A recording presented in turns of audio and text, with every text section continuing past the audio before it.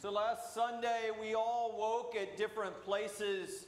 I uh, awoke at Shrinemont, and uh, while I heard the news of what had happened, it hadn't quite sunk in. There was no television, uh, and it was sort of just a, a little bit here and there of, of, of, of the story. It wasn't until a day or so later. Uh, but we all woke up somehow affected by what had happened, and the fact that it's not the first time. It, it may be the the most violent of the attacks that have taken place. But even before then, we knew as a nation, we knew as a people that this has to end. We've got to figure out how. I think the part that, that cripples us is that we don't know. We really don't know how to keep this from happening. Uh, we don't know how to keep from losing faith. And so I can tell you from at least one person's perspective, all of my quick judgments about what we could do to solve this problem uh, have all failed uh, the, the, the, test of, of continued scrutiny. It's difficult. There's so many different factors. But it's been painful to watch this particular time as we have witnessed what people can do to one another and a time where we need reconciliation, a time where we need hope, where we need an outpouring of love and care for one another, the realization that we need to love more deeply beyond all the things that, uh, that seem to stand in the way, uh, and yet it's become even more contentious. I got on Facebook, and the threads uh, amongst people I thought were close friends uh, become more and more hateful. Words like idiot. Words like you're ignorant, you don't know what you're talking about. But really, it's really all of our best efforts to try to figure out how to end what we're doing to one another. But the divisions are not what we need. And this one seems to be that horrible perfect storm of taking place amidst a time where we're already getting more polarized, that presidential campaign uh, that has us uh, just feeling the anxiety as a nation and, uh, and locally uh, of, of a country being divided. Uh, we have uh, uh, the Afghan American uh, uh, who, who attributed this to his allegiance to ISIS, which complicates things with the, our, our, our, relationship with our Muslim brothers and sisters in America and, and, and, abroad. The, the, absolute hateful crimes were, were, were done to our, our, our, LGBT brothers and sisters uh, and, uh, and have, have, have brought a myriad of, of, of, how we care for one another to the surface uh, and, and politics around that as well. Uh, and it's just become a rather painful place to stand. But I think it's an important piece for us to work through. And one of the things uh, that, that Jesus does uh, is he demands to know the name of the, of, uh, of the demons that are possessing this man. Because when we name it, we can start talking about it and we can start uh, working our way through it and maybe come up with something that holds uh, and maybe at least understand each other a little bit more. I think we seek similar things. I think we seek security, and for some people, uh, that looks uh, like it's being threatened by the pervasiveness of guns in, in, in this world. And sometimes uh, the security is the fear of somebody else having one and being unable to defend yourself, the vulnerability that comes with not being able to protect yourself. Uh, but it's the same root fear uh, of, of, our insecurity uh, of, of, of, being able to determine our own safety.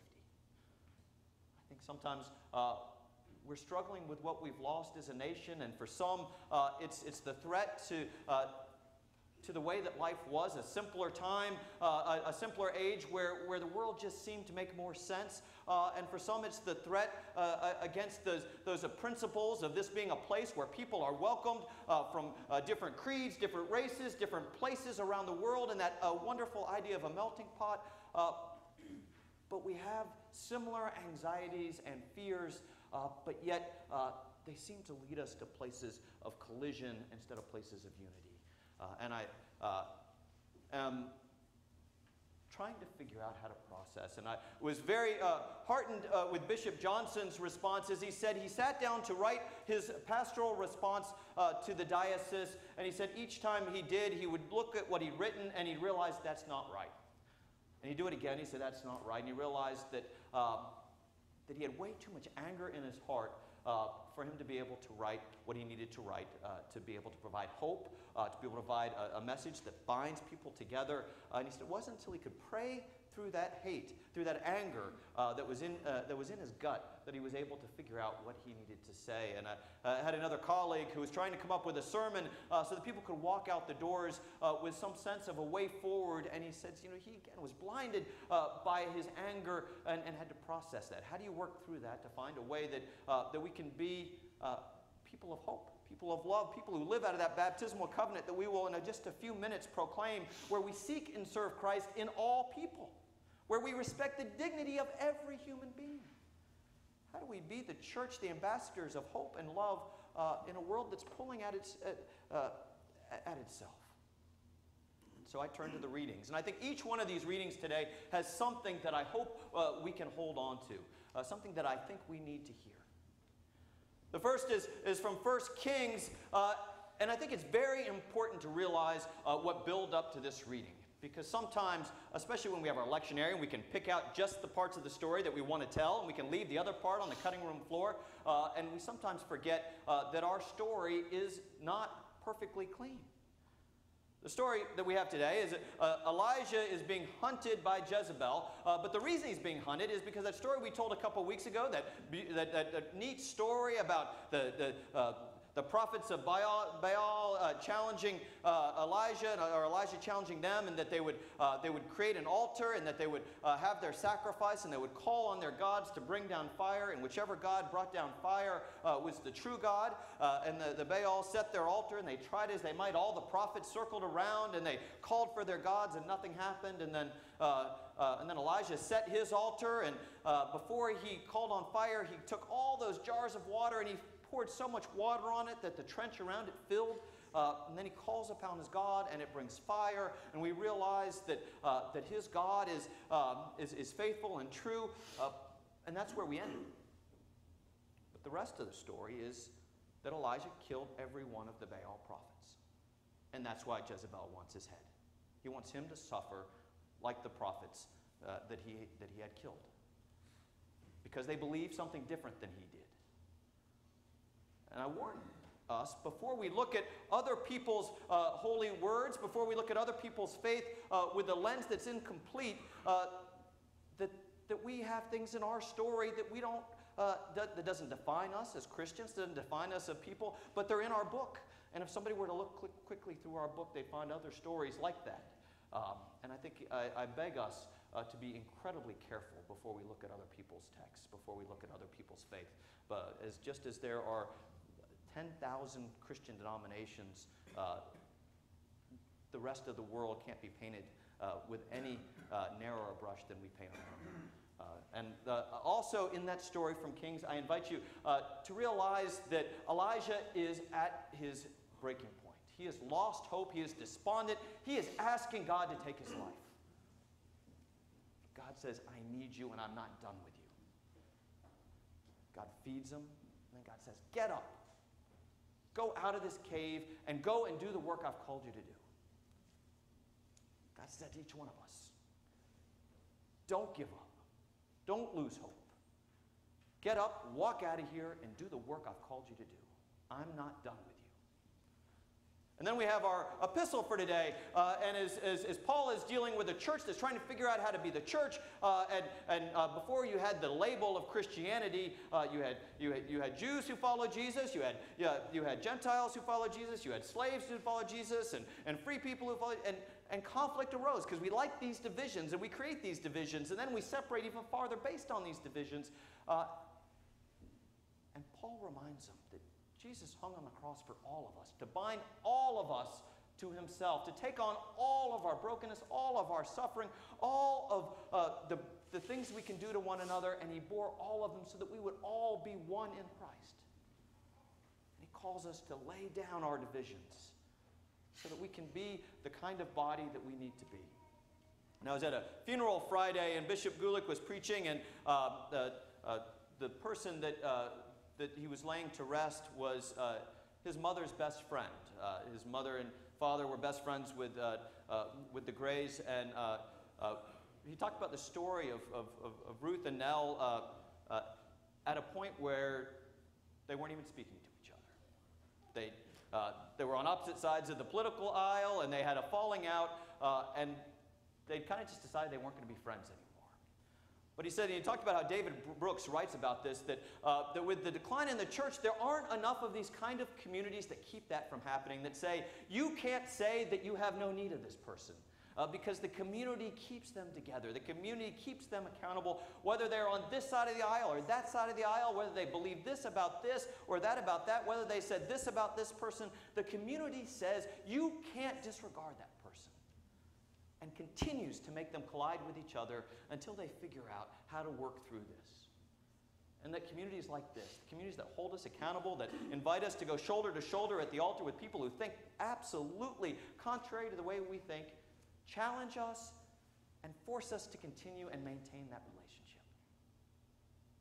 So it's another thing that I invite you to hold on to that this community calls you into a body that celebrates our differences, that doesn't ask you to suspend them, uh, but it asks you to challenge your own self uh, and to listen to the other person and grow. And then finally, the gospel. We get to a gospel uh, that has Jesus crossing boundaries. This is the first time in Luke's gospel uh, that Jesus crosses the Sea of Galilee to Gerasenes, and as he goes to the other side, uh, he is bridging a divide. He is not just going uh, to another Jewish town that understands his story, that understands the story, that informs his story. He's going uh, to a place that's so different. Uh, it's personified by the fact that they're, um, that they're, hurting, uh, they're hurting pigs. Uh, just, to, just to make sure, we're absolutely sure this is a Gentile community that is apart from, uh, uh, from Jesus' hometown. When he arrives, there is a man possessed by demons. Uh, and I, I, struggle with the idea of demons. I think, uh, especially given well, we know about mental illness, I think it's a much clearer way to define it. And I think that's certainly uh, one of the things at play in, in, all of these acts of violence, certainly in South Carolina and Sandy Hook. In here, uh, it's, it's, it's, mental illness, it's, it's, it's, it's, it's a channel uh, that somebody who's deeply disturbed has fallen into. Uh, and I think that we have to acknowledge that and uh, certainly uh, invite us to use all those God given gifts that we know to, to combat mental illness. But I do think there are demons circling around uh, how we've responded to it. And I think we'll see it farther into this gospel story as well. Uh, so this person uh, has been so uh, possessed, that he's outside of the, the town. He's been shackled time and time again. He has no clothes. Uh, he is outside of any community, and their hope is just that he doesn't continue to break the chains uh, and, and, and, threaten his people. Uh, and Jesus comes and he calls uh, out and he names, uh, he names the legion of, of demons within him. they beg to be thrown into the, um, to the, to the pigs. Jesus does so, and then he, and, and then he ha- and takes all of the pigs uh, off the side of the cliff, uh, and, and so visibly they all realize uh, that this man is no longer possessed. What an incredible miracle Jesus does. He takes somebody who has been so not just uh, not just demented by all of these things inside his head, but also totally separated from the, his community, and he, and he brings it back into the into the fold. And as they go back and tell uh, people about it, and they come back, uh, what's their response? Fear times is that our response? We see a way forward. We see an image of who God is and what God promises us and, uh, and what God calls us to do, but our fear cripples us.